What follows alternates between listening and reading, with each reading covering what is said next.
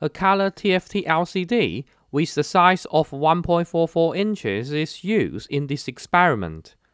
It uses a single chip controller ST7735 for graphic control. More information of the LCD can be found in the clybot C6 kit folders.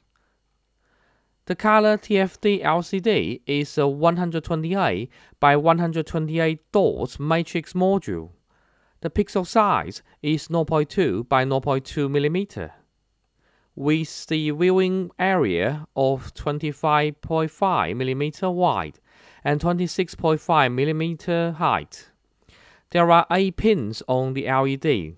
Looking from the back of the module, from the left to the right, the 8 pins are Reset RST, Chip Selection CS, Data Command Selection DC, Data In, DIN or SDA, Clock in CLK,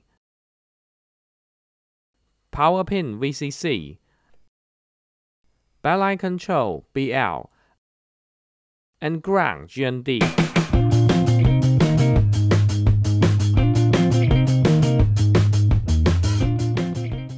The 8 pins have been arranged to connect to Arduino, in which the TFT LCD will be programmed to display characters and graphics.